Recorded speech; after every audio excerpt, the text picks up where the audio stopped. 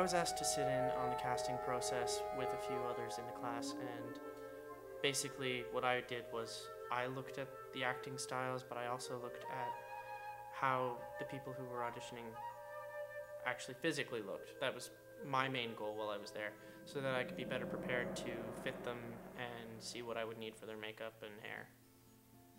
I found that the Stephenville casting call went better than the Corner Brook one, not just because we had more actors, but uh, the actors that we got from Stephenville, they um, they were really pleasant. They they were really directable, and not only that, like there's a lot to work with when it comes to their physicality, their features, which is what I have to look at.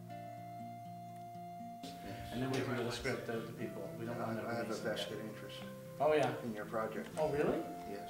Uh, I'm uh, Mattie Mitchell's great-grandson. Oh, really? I was kind of astonished to find out that Mattie Mitchell's descendant was going to be used. I I'm really glad to work with the guy. He's a decent actor and he really looks the part. So I don't think we could have gotten anybody better. Of course, I want to see, see any project do him justice, Yeah. right? Because uh, I, I grew up with the stories you're telling, you've written, you've uh, outlined here, and more besides, right? Yeah.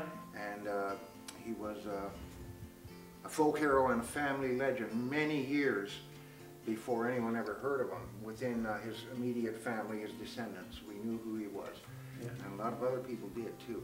But now, uh, much to my pleasure, Mattie's uh, stories are coming out. Okay, as we go around the table, Tiffany, where are you with us? So today I bought a lot of stuff. I've still got a few props left, but not that many. My breakdown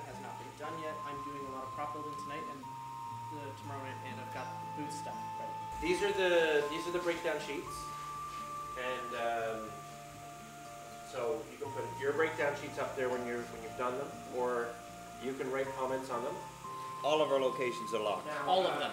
Every single one. I just need to know in each scene what we're gonna be needing. Yeah. Dude, what are you laughing at? He went And- closer because you, you speak so low. Yeah, exactly, actually.